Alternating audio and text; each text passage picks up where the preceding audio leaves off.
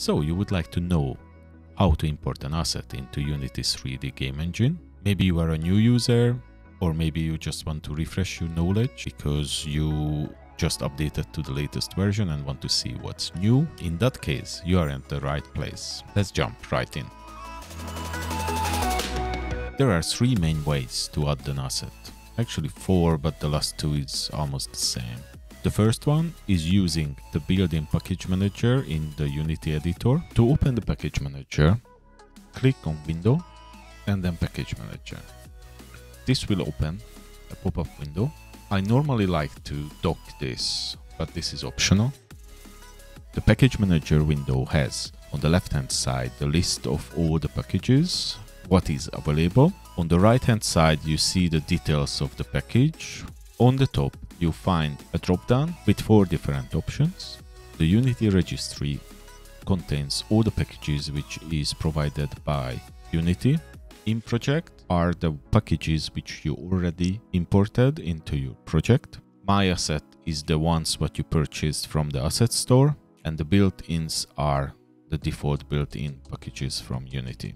On the left hand side you can browse and select the package what you would like to load on the right hand side, you can see the details of the package. If you did not download the package yet, you have to first click download. You can click import, which will pop up a window. And on this window, you will see all the details and all the files included in that package. You can select all, or you can just uh, cherry pick the items what you need. When you are happy with your selection, click import which will quickly add the content of the package to your assets. You will find it under the asset folder or the content of that package. The second way is using the Unity Asset Store website.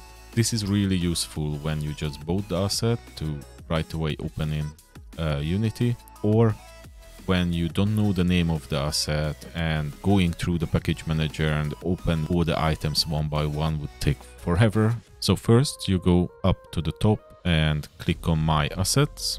Then you can see you get a full list. Uh, the top will be the most recent item what you just purchased. You can very easily identify packages because all the image and the description easily visible.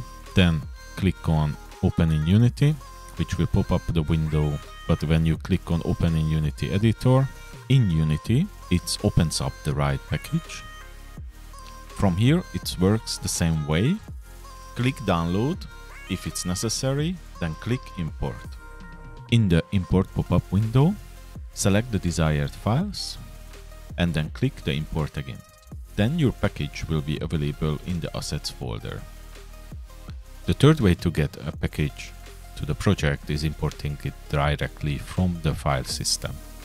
To import a package from the file system, click Assets import package, custom package, select the package, and then click open. It will open the familiar package importer window. Here you can select the files what you need and then click import again. And you will find your imported package in your asset folder. Not just packages, but simple files can be added to a Unity project. There's two ways. To import only asset file, click Assets, Import New Asset, select the file, click Import, and it will import your file into the root of the asset folder. From here you can place it wherever you want. The alternative way to load an asset file, find it in your browser and just drag and drop to the asset folder or any subfolder. As a bonus, I will show you how to export the package. Click Assets, Export Package. In the pop-up, select all the files and folders you need and hit Export. You need to set the file name and location and then click Save. If you would like to learn more about Unity 3D, please subscribe. See you next time.